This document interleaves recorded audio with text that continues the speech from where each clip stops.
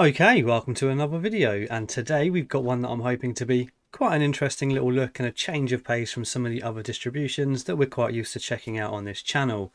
So RLX OS is a brand new distribution which isn't based on anything so it's an independent distribution and it's an immutable one. So I think we'll read a little bit about it and then we won't waste no time, we'll jump straight into it and see how it all works. So it's 100% open source and forkable and free to use for both personal and commercial users. And then we have the rock solid immutable base, so you'll always be on the safe side.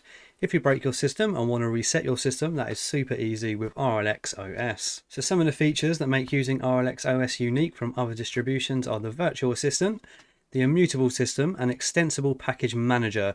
So RLX OS Package Manager appctl uses modules to handle package management. Its functionality can be increased by adding more plugins or modules and then we have source language, so we have our own homegrown programming language named Source or SRC. And again, it's completely built from scratch and not based on any other distribution. The system is portable, so it boots from a single system image file, just like a live boot, and saves unique cache onto the hard disk. Multiple versions of system images can reside together on the same partition, and you can select which version to choose from your boot menu. So very interesting. So as far as your additional applications, it appears that it puts app images first, which will work very well for a system like this, but it also has support for Flatpak and Snaps. They have just a single ISO currently available, which is using GNOME as a desktop environment, and it has a size of 1.3 GB. With that being said, let's jump into the live environment and get this installed. And here we are in the live environment, which is looking very nice, but we'll check out the look and feel once we are fully installed. Now we are going to be installing this natively, so as per usual, you can skip the installation with the timestamps down below. But as it's a new sort of installation, you might want to stick ahead and see how it all works. So it does appear it's going to be using its own installation process. So welcome to RLX OS. Installation requires a free partition to install RLX OS. Click the partition button to manage your disk partitions and that is going to go ahead and open up gparted. So we're going to drop to a sort of a spare drive and we're going to right click. Now I'm going to create two partitions, one is a FAT32 and then the other is an ext4 file system. So we're going to go new and I'm just going to drop that to 300 MB for the FAT32 partition.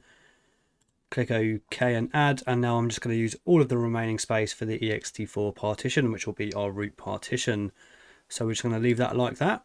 Press the little tick there to apply the changes and then we should be good to go. So now that we've created our partitions, we're going to press next and go to the next step. So one, it wants us to choose the root partition. So the one we just created is dev SDA2. So we're going to click next. So installer failed to find the EFI partition, but we did create one right about there. So we'll select that to be our EFI partition and next. Okay, so that's it. I guess user account creation will come in the first steps when you first boot up. So I'll pause the video here while this installs and we'll be back in just a moment. Right, that was insanely fast, perhaps the fastest installation I've seen of a Linux distribution. Pretty much under a minute there, so let's reboot and check out our freshly installed RLX OS. So we've just booted off disk for the first time and we're going to choose our language and then create a user account and then we can start to see how this all works. So I need English United Kingdom and next. English UK is indeed the layout. I'm going to disable location services time zone is correct and I'm not going to worry about any online accounts for the moment. And here's where we can now create our user account and password. Okay everything is done and we can now start to use RLX OS so we've got a little welcome tool here so we'll run through this to get to know the basics and then we'll start having a run through and seeing how we go. So welcome to RLX OS thanks for giving a try of the initial release. Next so this is just telling us the interface. So I do believe it's using a sort of dash to panel GNOME extension. I'll be interested to see which version of GNOME we're actually running underneath all of this. We'll check that out in a moment as well. So applications, RLX OS provides native support for app images, very cool, and a dedicated market from where you can download your favorite apps. Okay, interesting. No installations required, just download and run. So just put the apps in the applications folder in your home directory to integrate apps with your system. And then we have Bazaar, let's click that. So I guess this is their own marketplace for their app images and that's opening up in GNOME Web. So it appears it's only got the one app image for now, but we'll, uh, we'll go through that in just a moment as well. And then it has the app image home and app image hub. Okay, next. Update. So updating RLX OS system is as simple as downloading and installing applications in RLX OS. Okay.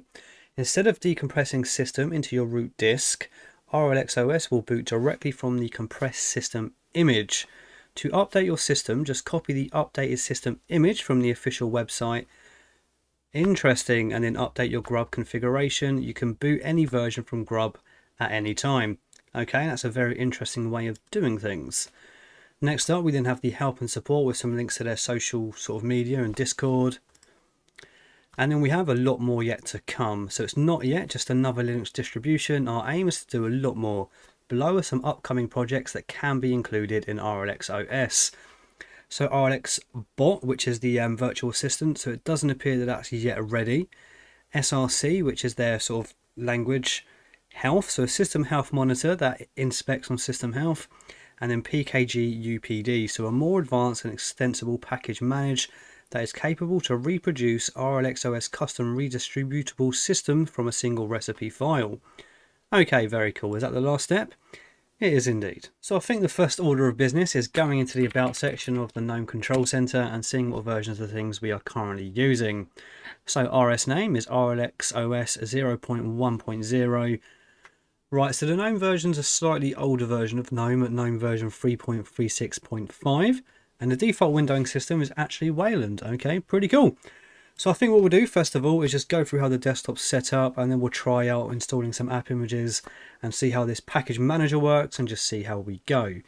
So like we said, it's got the dash to panel gnome extension at the bottom with your applications spread in the middle, which I do actually quite like. And then we have things like your system tray, etc. We have a show all applications button. And then we have just the sort of standard get into your overview where you can search for any application, hit enter and launch the application. And then we have the workspaces to the right, as of course we are using an older version of GNOME and we don't have any of the new changes that made its way into GNOME 40. So let's go into all applications and see what applications we actually have installed in the base install. So we have the SSH server and VNC server browsers, GNOME calculator, characters, cheese for managing our webcams. So it does have dconf editor and your default email client is Evolution, which I actually think is the best email client to use on a GNOME based system. We then have the extensions application, files, which is of course going to be Nautilus, and we'll see how everything's themed in just a moment. GParted to manage our disk partitions, which is what we use in the installation process. Image viewer, logs, music, notes. I quite like this icon theme. Well, um, I'm not sure what it is. Remmina for remote desktop viewings. Settings, Shotwell, system monitor. We have the terminal and then our text editor. We then have to do tweaks, videos, weather, and web. So not a whole lot installed out of the box. So let's jump straight into tweaks and see what this theming is because I do quite like it. So in appearance, it's using the Qogir Winlight theme for the applications and it's using pretty much that for every other part as well as your icons, etc. Now, do we have any other themes installed out of the box? So we have all of the sort of variations of the Qogir theme there, as well as Adwaita High Contrast and High Contrast Inverse. And for icons, we then have just the dark variation of that same icon theme.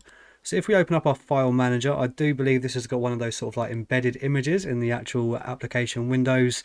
So kind of like some mountains there, but it does look quite nice with that theming. So the icon theme is very nice and the actual window is pretty decent. And can we go to the dark version and see what that looks like as well?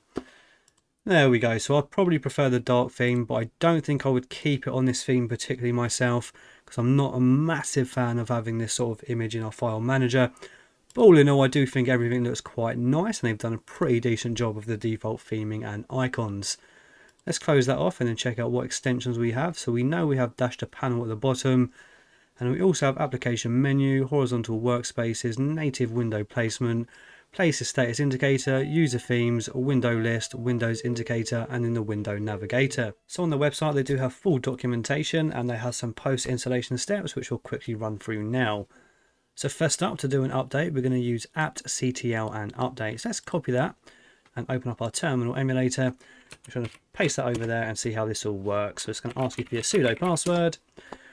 Okay, so it's syncing RLX package, syncing core, and our system is completely up to date. So while we've got this terminal open, let's type in apt, no app ctl and see what options we have. So we have install, remove, info, depends, sync, update, list, search, hash, and trigger.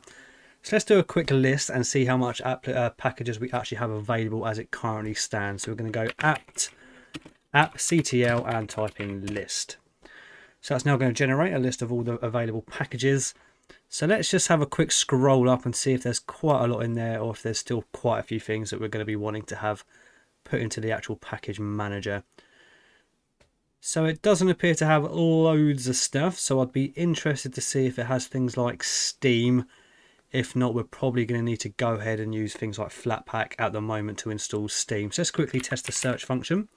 So appctl search, and we're now going to type in Steam. So that's generated no result. So let's do the same with Flatpak and see if it will find a Flatpak. And there we go. So it has found Flatpak. So we'll install Flatpak now, and then we'll use that later on to install the Steam Flatpak application and make sure that's all working out of the box. So we're going to go sudo appctl install and Flatpak. And there we go. So pretty simple stuff there. We can see we've got the OS tree stuff. So it seems to all work on the fly. So we should have Flatpak ready to go now. Perfect. So we'll install some Flatpak applications in just a moment. Now let's continue with the rest of these steps. So update the bootloader configurations provides a very minimal configuration for system to boot. Updating the bootloader configuration helps the bootloader generate configuration files according to your system and other installed operating systems. So I don't need to do that, but if there was a new version available, we could download that ISO and then sort of extract it to where it tells us to. And then I guess all we'd need to do is update grub and then we can jump into that image from our grub screen, which is quite interesting. So next up we have package management. So like I said, first and foremost, the main sort of applications that's going to be using is the app images. So let's have a look. Let's click on app images. So app images doesn't need any package management schemes or package. So I'm wondering what is it it's using behind the scenes to manage our app images. So I'm just going to type app and then tab and see what versions we've got. There we go. So it has app image D, which you'll be able to use to sort of sync it to all of the relevant folders create a .desktop file and then that way you can search for your app images from your application launcher or GNOME overview. Okay, let's close that off and keep moving. So below are some links where you can download app images. So we're going to use their version. But like I said in the beginning, there's not a whole lot on here yet. This is all very much new. So we're going to download their version of Firefox, which is version 89.0. And we're just going to sort of see how it manages it at the moment. So I'll pause the video here while it is downloading and come back once it's finished. So our Firefox app image is now downloaded from the app image store. So what we're going to do is just open up in its current directory. We're going to move it. So we're just going to go move or cut and then we're going to go home and we're going to create a folder called applications because I don't think there is one there by default. So we're just going to create a new folder, call it applications. And now we're going to move that app image into that folder. And now let's see what happens when we hit enter nothing. So at the moment, we're going to need to make it executable. So let's just press OK for now. Open in a terminal, chmod plus x firefox.app. Now that should be green, letting us know that it's executable. So now that we can close our terminal and we can double click that, and then that will now launch your app image. However, you don't want to always have to sort of double click in your applications folder to do that. But with App Image D, it should have sort of synced things into our application launcher. If it hasn't done it yet though, all we're going to do is just run app image D in a terminal and then that will go ahead and do it for us. So if we just type in app image D, hit enter, so it's now found our Firefox application and it's now going to sort of make all of the sort of dot .desktop file entries it needs to and we'll be able to find it in our application launcher. So now that that's done, let's go back into our overview, type in Firefox and we should now be able to launch the application straight from there where you'd expect it to. And we can also pin that to our application launcher in dash to panel. And now that it'll always be there ready for us to go and then we can set as our default web browser and let's just close it and make sure it's launching without any problems perfect. So fairly simple stuff. And what app image d would have done for us is created us a desktop file in local share and applications. And now every time it sort of integrates app images into your system you'll have a new sort of .desktop file here for each application. So as you can see, we have one for Firefox, and then that's just going to launch it for you and integrate it into your system, and you can run the icons right from there. Very cool. So with the appctl package manager, they do have this included in the um, post installation as well. So the configuration file will be read from configuration in Etsy appctl.conf, and this is your default configuration file. So we have a url.source from GitLab, GitLab We then have one from their own RLX package online. We then have database and then RLX packages in the modules. So now let's jump straight into Flatpak. So we've already installed Flatpak, so let's see if we can install a new Flatpak application. So you can either go to the Flatpak market below or simply use Flatpak to install. So we might need to add a repo, I'm not too sure, so let's check it out. So we're going to test this out using Steam. So I've got the command ready, so we're just going to copy that over into our terminal. Now I'm not sure if we need to add the repo or not for FlatHub, but we're about to find out. So we're going to hit enter and there we go. So it has actually found it. So we've already got the um, sort of FlatHub repository ready to go. So that does make things very handy. So let's press Y and let that run through the steps to install Steam for us. So as that's the first time we have run and installed something with Flatpak, we did need to do a reboot for things to appear in our sort of GNOME overview. But I do believe if we now type in Steam, there we go. So although they don't have a native package available for Steam and you do have to run it with Flatpak, you can use this to play your games in your Steam library. And they do actually make a point of this in their blog, which I've just seen, directing you on how to install Steam on RLX OS. And like I say, you're going to be using Flatpak. And as you can see, Steam has launched absolutely fine without any issues on RLX OS. So we'll close that for now. I'm not going to worry about logging in. I just wanted to make sure that we could launch it and run Steam using the Flatpak version. Let's go back into the post installation steps and see if there's anything else left for us to do. So the next step is actually Snap. Now I'm not going to worry about installing Snap because I've already got app images as the main way to sort of manage applications and then we also have Flatpak as well. So I think we'll be good with just app image and Flatpak but of course that's for you to decide which packaging format you prefer. So let's go to the next step if there is one. And that's it, that's everything in the sort of post installation guide for the package management.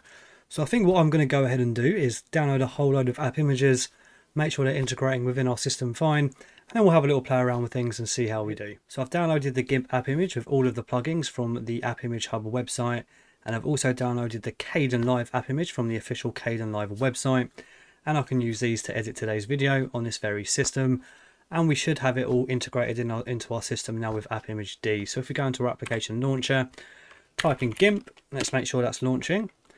So I'm going to press no because this is built into the app image for GIMP to integrate it, but we've already done that with app image, so I'm not going to worry about that for now. And we're going to permanently disable that for GIMP. So it should still be integrated into our system because we did it with app image D. That's just something that's built into this particular app image. So there we go, GIMP is now launching. Let's just do it once more to make sure it doesn't pop up with that same message that we just had. And there we go, so we can easily edit any images that we need to use using the app image version of GIMP. And we're now going to do the same for Kdenlive. So we're going to go back into our GNOME overview, type in Kdenlive, and there it is. Perfect. And if at any time you ever get any issues with sort of the icon theming, you can just go into the actual .desktop file and then configure the icon line yourself to get things running exactly how you want. But there you go. You've got a very usable system there with the sort of app image, flat packs, and um, optionally uh, Snap as well if you want that to be installed on your system. But all in all, this is turning out to be a very interesting distribution. It's all very new at the moment, so I'll be very intrigued to see how this progresses further forward, especially when a new version is out and then we can test things out with the sort of installing a new version just by moving the ISO, which definitely sounds like a very interesting way to update your whole system.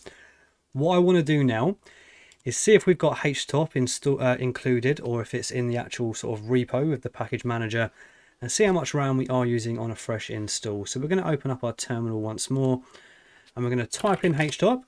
So we don't have htop installed, so we're going to use their app, their package manager called appctl. So first we're going to search for it with appctl search and just type in htop. So it'll take a few seconds to generate any results. So it doesn't actually have htop installed out of the box, but we should have the GNOME system monitor.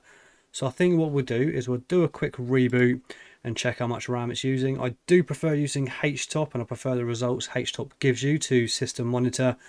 But for now, we'll just test it out with the GNOME System Monitor. Let's just do a quick reboot and see how much RAM we're using. Okay, so we've just booted back up and we've run the GNOME System Monitor. So currently, memory in use, we have 1.2 GB with a cache of around about 780 MB.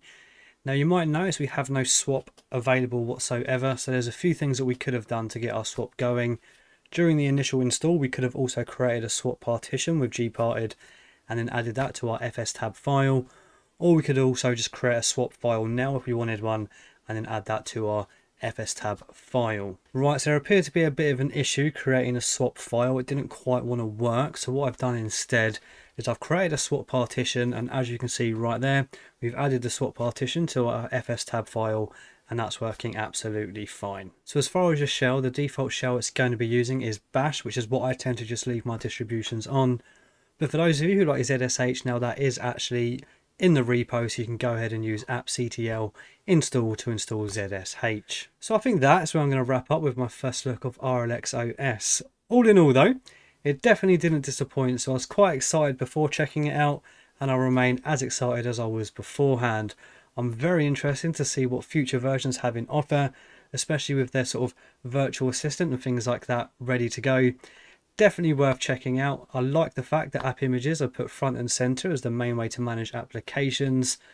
Of course, their app image store at the moment doesn't really have a whole lot in it apart from Firefox, but with like all things, given enough time, I'm sure there'll be a whole lot there for users to go ahead and download and integrate in their system. For now, as a fallback, you can always go ahead and use the Flatpak or Snap packaging formats to fill in the blanks that currently aren't available as an app image or aren't in their native package manager. And there are several other places to go ahead and install app images like app image hub etc and it's not too hard to create them yourselves either. Thank you for watching. If you've enjoyed this video please subscribe. And if you've really enjoyed it you can consider supporting me on patreon. Join the discord. There's a link in the description. I'll see you on the next one. Bye bye